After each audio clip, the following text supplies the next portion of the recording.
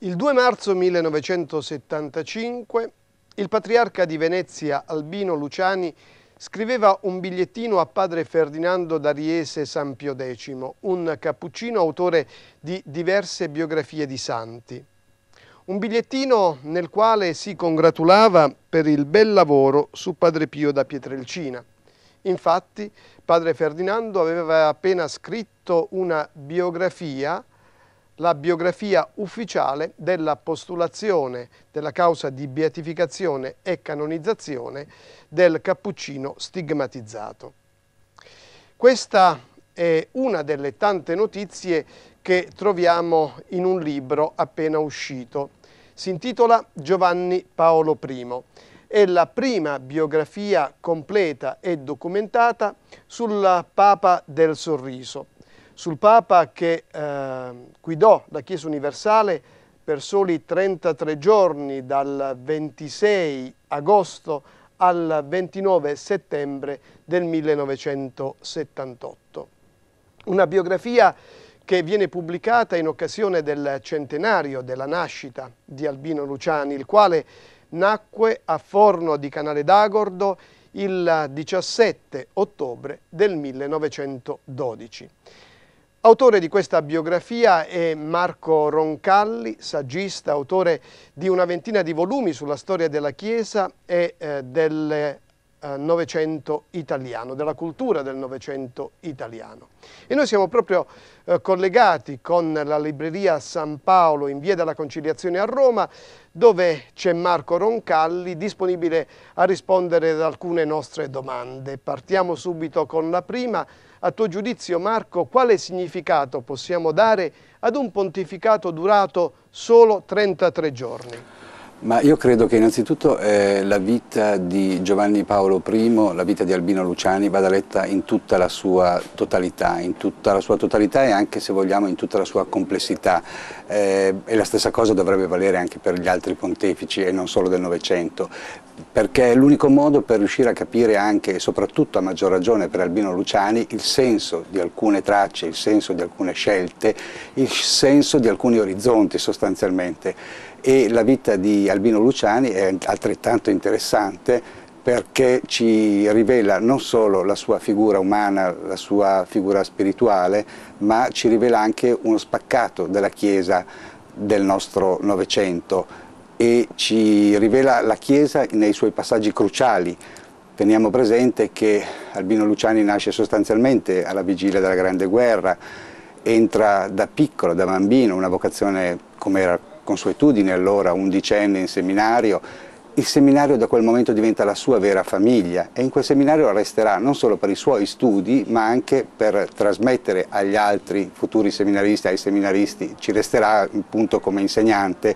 come educatore con un grande senso dell'educazione, anche questo è un dato molto importante che va subito sottolineato e ci resterà poi anche come vicerettore, con tutto quello che comportava una sorta di gestione di questa piccola sostanzialmente famiglia, perché erano sostanzialmente una quarantina di,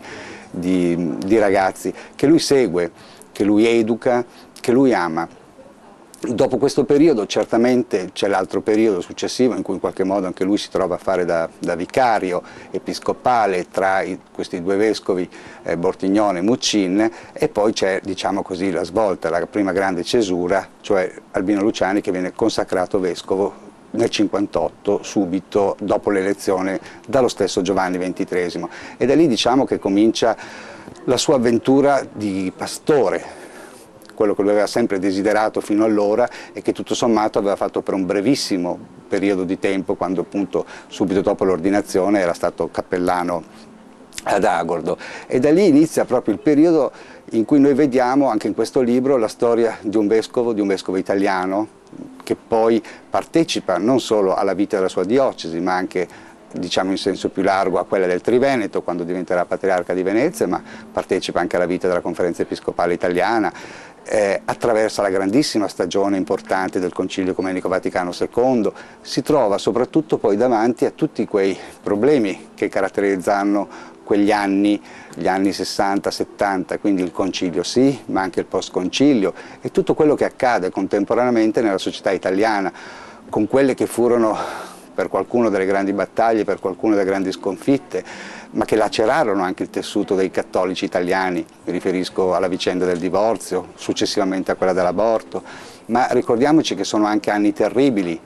quegli anni 70, sono gli anni in cui basta una pallottola per spezzare una vita umana, la nascita del fenomeno del terrorismo, ci si inietta l'eroina eh, e, e, si muore giovanissimi per terra, per strada, sono anni in cui anche ci sono dei problemi relativamente nuovi, ma penso anche al problema del concordato che viene posto, ecco, diciamo che questo libro aiuta un po' anche a ripercorrere la storia del nostro tempo. Ovviamente poi certo c'è la parte finale, questi 33 giorni, eh, in parte misteriosi per qualcuno,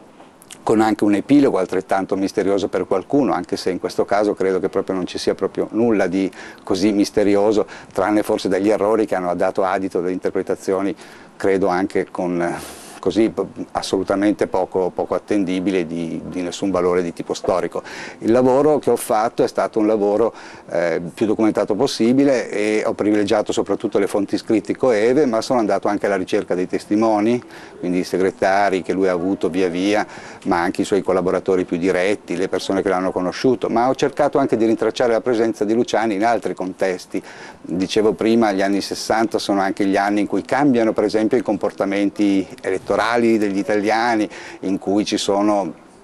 così l'irruzione anche nella società di, di, nuovi protagonisti, penso al sindacato piuttosto che a, ai partiti stessi che fanno sentire molto il loro peso, quindi anche un momento in cui la Chiesa avverte fortissimo di non essere più l'unico interlocutore anche in, in, aree dove aveva sempre avuto la leadership, penso al, al Veneto. E quindi diciamo anche la figura di Luciani eh, davanti a questi fenomeni, ma anche con la capacità che ha lui, uomo di Chiesa, di stare vicino come uomo di Chiesa anche alle ansie delle famiglie, ai problemi del lavoro, ai problemi dell'occupazione. Credo che eh, se è vero che ci sono alcune virtù che balzano all'occhio in lui, eh, penso sicuramente a questa fede salda come la roccia, ma penso anche al valore che lui dà all'obbedienza, un'obbedienza dove lui legge appunto nell'obbedienza ai suoi superiori eh, quasi un'interpretazione della volontà di Dio, che però interpreta anche in modo, come dire, con una grande consapevolezza dei propri ruoli, via via vengono mutati nel corso del tempo, ecco, quindi ci sono queste virtù che sono importantissime, ma c'è anche una grande tenacia nell'uomo, c'è una caparbietà se vogliamo, c'è un uomo che appunto, come dicevo prima, si spende accanto alle famiglie, ai problemi delle famiglie, ai problemi dei lavoratori e lo fa diciamo, con un grandissimo senso di solidarietà, che è un senso anche più dilatato se vogliamo. Ricordiamo, eh, non si ricorda mai, che Luciani stesso ha fatto per esempio un viaggio in Burundi, sentiva anche il problema delle missioni, sentiva il problema degli orizzonti internazionali. Io direi che avesse veramente anche assorbito certi certi documenti importanti, penso alla Populorum Progresso di Paolo VI, ecco direi che noi troviamo un po' in questo libro questa sorta di, di, di figura un po' a tutto tondo con anche così degli ampi squarci sulla cornice che è quella del suo tempo. A tuo avviso possono essere riconosciuti dagli studi che hai fatto degli elementi di continuità fra il pontificato di Paolo VI, quello di Giovanni Paolo I e quello di Giovanni Paolo II? Beh, direi certamente sì, a parte che mh, forse è la mia concezione, ma eh, studiando un po' le vicende di, di, di, Luciani, ma anche dei suoi predecessori, eh, mi rendo sempre più conto che insomma quella è un po' una catena e quindi non, se, se, tiriamo via un anello poi casca tutto, ma non è una giustificazione così, è un qualcosa che trovo anche nella corrispondenza, nei documenti si trova questo filone. Beh, innanzitutto direi, per parlare di andando indietro nel tempo, dei suoi predecessori, Giovanni XXIII lo consacra vescovo, eh, ha dei colloqui molto belli con lui, tra l'altro c'era chi faceva già loro obiezioni sulla salute di Luciani e, e c'è questa, questa, frase di Giovanni XXIII che dice vabbè intanto lo facciamo vescovo e vorrà dire che se è così malandato di salute morirà da vescovo e poi come sappiamo invece è morto da Papa. Certamente c'è il filone della continuità con Paolo VI, dove c'è una grandissima sintonia, c'è una grandissima fedeltà. Certo ci sono stati anche alcuni punti eh, dove ci sono stati dei ripensamenti, ma certamente eh, se c'è un cardinale console, diciamo così, di, di, di, del pontefice è proprio, è proprio Luciani che è il cardinale di Montini e questo si vede in tanti, in tanti, passaggi, ma si vede anche nella fedeltà con cui lui interpreta, direi anche certe vicende, ricordiamoci i sinodi, i sinodi europei, ricordiamoci i convegni della Chiesa italiana negli anni 70, ecco c'è questa, questa fortissima sintonia e credo sia un dato di fatto da sottolineare di nuovo. Certamente c'è immediatamente con la sua nomina, con la sua elezione a pontefice, già nel nome stesso, questa sintesi meravigliosa dei suoi due pontefici precedenti, che vuol dire anche comunque portare avanti eh, il concilio e portarlo avanti con una lettura il più aderente possibile alla, alla realtà e poi certamente già ci sono, come dire, dei rapporti anche con quelli che saranno i suoi successori. È bello ricordare che eh, ci furono già eh, in precedenza eh, dei, degli incontri anche significativi direi di, eh, del Cardinale Luciani con, eh, da patriarca per esempio di Venezia con l'allora Cardinale Ratzinger, un bellissimo incontro a ottobre a Bressanone nel 77, ma se si va a scavare si vedono anche alcune omelie dove già allora il patriarca di Venezia Luciani cita Ratzinger per l'allora cardinale Ratzinger, per questo senso che viene dato anche certamente al, al primato di Pietro, all'importanza della fedeltà al Papa, che lui interpreta a maggior ragione in modo più forte, essendo appunto patriarca di Venezia, quindi Marco, figlio di Pietro e così. Ma c'è anche una forte sintonia con l'allora cardinale Wojtyła, che ovviamente incontra in questi sinodi europei, anzi c'è anche un, una cosa trovato casualmente in una testimonianza, è capitato anche che i due, eh, Voitiva e Luciani, tornassero a casa dopo la giornata dei lavori al Sinodo dandosi un passaggio, in questo caso Luciani che lo accompagnava all'Aventino dove c'era il collegio polacco. E, e poi certamente chissà quante altre occasioni che non sono magari emerse, e poi certamente c'è anche un guardare alla Polonia in quegli anni già molto interessante da parte di Luciani.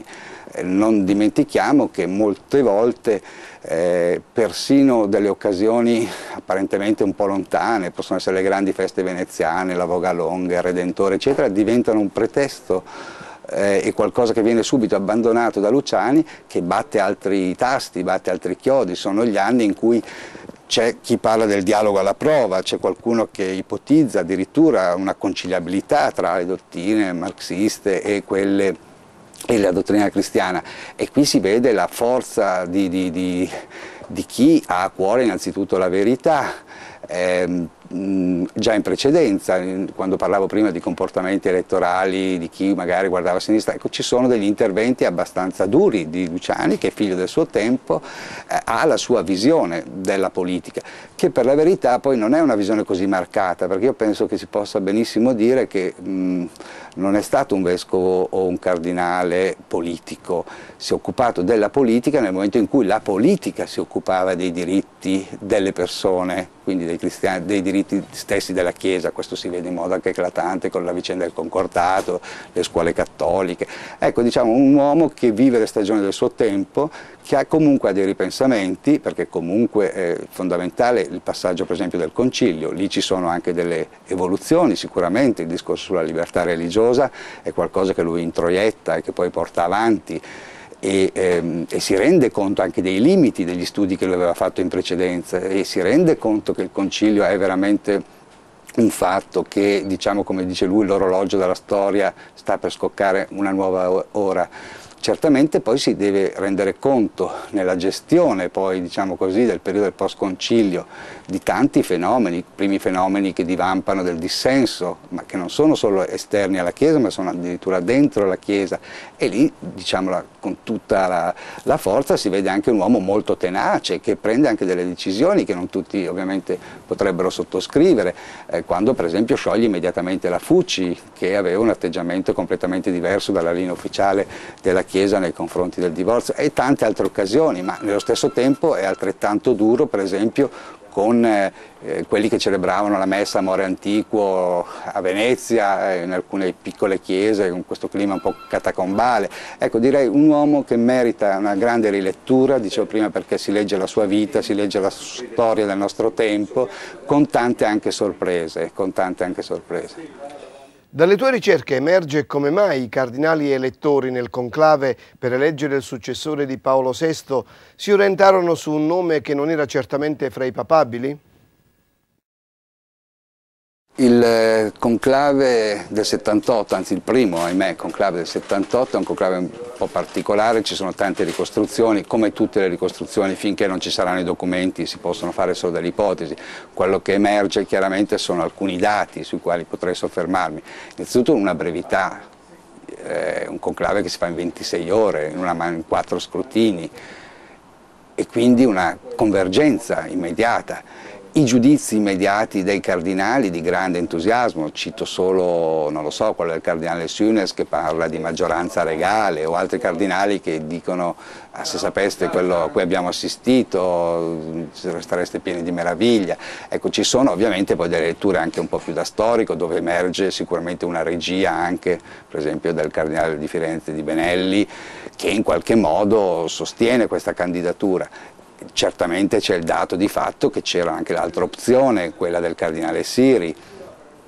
e certamente però c'è anche la prima attenzione molto forte a un candidato non italiano, anzi ci sono parecchie testimonianze che convergono in questa direzione, cioè se non fosse stato un italiano, in questo caso appunto Luciani, sarebbe stato un cardinale straniero e diciamo già che anche in quel conclave il nome di Wojtyła era emerso. Le tue ricerche ti portano a confermare la veridicità della notizia circa la profezia che Suor Lucia dos Santos, la terza delle veggenti di Fatima, sopravvissuta, fece all'allora patriarca di Venezia Albino Luciani, profezia che riguardava il suo pontificato e la sua breve durata? Beh, in questo caso eh, ci sono pochissimi testi, sono testi di Luciani, quindi su quelli ho fatto molto affidamento, ci sono le testimonianze dei segretari, chiaramente fare un po' il lavoro di ricerca vuol dire anche poi andare a, a ripercorrere un po' quel, quel pellegrinaggio mariano, quel pellegrinaggio che era stato organizzato da un gesuita veneziano che aveva questa abitudine di, di, di portare in pellegrinaggio eh, i fedeli di, della sua parrocchia e gli altri fedeli veneziani, eh, scegliendo soprattutto tappe mariane, in quel caso appunto ci fu Fatima, eh, Luciani raggiunse poi in aereo, fra l'altro è arrivato anche in ritardo, insomma la, la, la, raggiunse Fatima. E lì ci fu questo incontro che però a quanto mi risulta non era un incontro in programma, fu questa marchesa Olga de Cadaval che fece un po' in qualche modo, era nota alla era nota a Suor Lucia dos Santos e che quindi organizzò un po' all'ultimo momento questa, questa sorpresa e procurò questo incontro. In realtà poi a questo incontro, a quanto mi risulta, partecipò la stessa Marchesa, partecipò alla Priora, ma per pochissimo tempo, perché Luciani così diceva di riuscire abbastanza a capire anche il portoghese, infatti era stato anche in Brasile e aveva studiato un po' durante il periodo del patriarcato proprio il portoghese, proprio in vista di questo viaggio in Brasile dove sarebbe andato a incontrare eh, la comunità soprattutto degli italiani emigrati. Ecco, detto questo, lì eh, di tracce scritte non ci sono,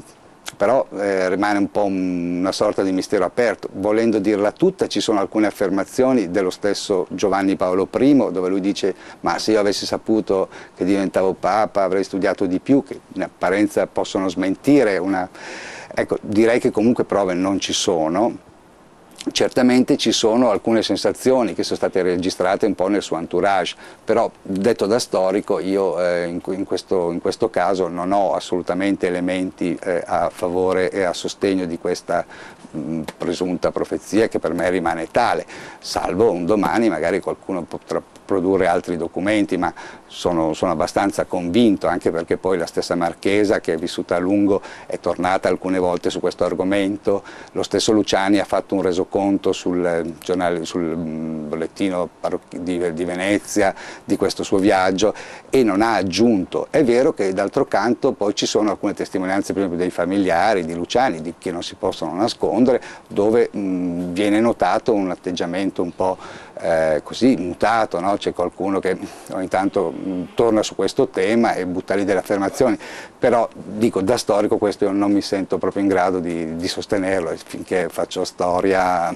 mi fermo qui. Dal tuo lavoro di indagine storica emerge qualche particolare, magari meno noto, che ti ha colpito della vita di Albino Luciani? Sai, più che aspetto meno noto, io vedo che ci sono molti fatti inediti nel volume, in questa biografia, eh, in molti casi anche sorprendenti, eh, che dicono, appunto, come dicevo prima, anche la consapevolezza dell'uomo di chiesa. Eh, ho trovato documenti inediti che riguardano per esempio il discorso dei preti operai, che riguardano i suoi studi sul, sul discorso che riguarda la morale sessuale, coniugale, familiare, un problema che lui avvertiva molto forte, che non si può liquidare anche nella sola battuta di un sì o no alla pillola e un adeguamento poi alla pronuncia che comunque ci fu eh, dopo l'umane vite di, di Paolo VI. Ci sono anche delle aperture timide ma interessanti dopo il concilio anche sul diritto che hanno anche eh, appartenenti ad altre religioni a, eh, dire, so, a, dei musulmani ad aprirsi delle moschee, lui dice dovremmo fare meglio noi però il catechismo e probabilmente avremo problemi di, di, tipo diverso. Ecco, ci sono tanti di questi aspetti, anche degli episodi simpatici, inediti, e, però direi che la cosa che mi ha colpito di più di quest'uomo è dire, il fatto come ha interpretato, direi in modo forte, straordinario, delle virtù ordinarie.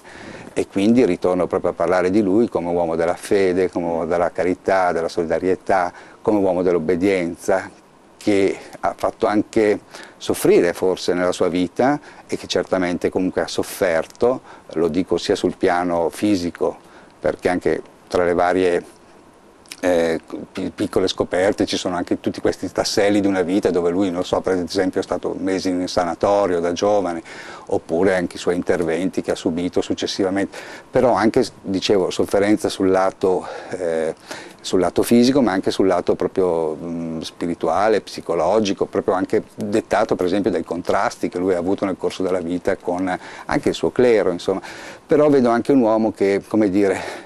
ha una grande capacità poi di mettersi davanti a un crocefisso, di togliersi la croce, togliersi lo zucchetto e di dialogare, di, di, di avvertire questa presenza di Gesù in modo forte,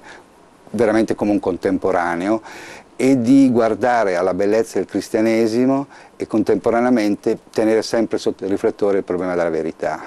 Monsignor Girolamo Bortignon, padre Leopoldo Mandic, padre Pio da Pietrelcina, tre cappuccini nella vita di Albino Luciani. Sì, ci sono, ci sono molti cappuccini nella vita di Albino Luciani, c'è questo bellissimo rapporto con eh, Leopoldo Mandic, eh, con cui ci furono anche degli incontri in situazioni molto particolari della vita di Luciani,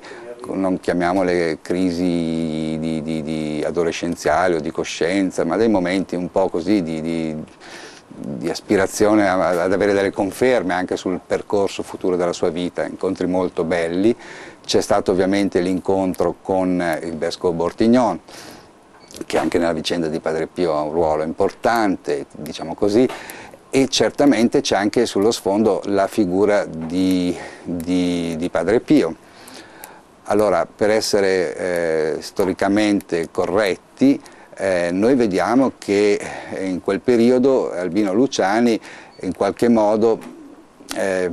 percepisce, insomma vorrei fare una battuta e cavarmela così, eh, c'è una frase in cui lui dice santuomo il padre ma tutto quello che c'è attorno in questo momento eh,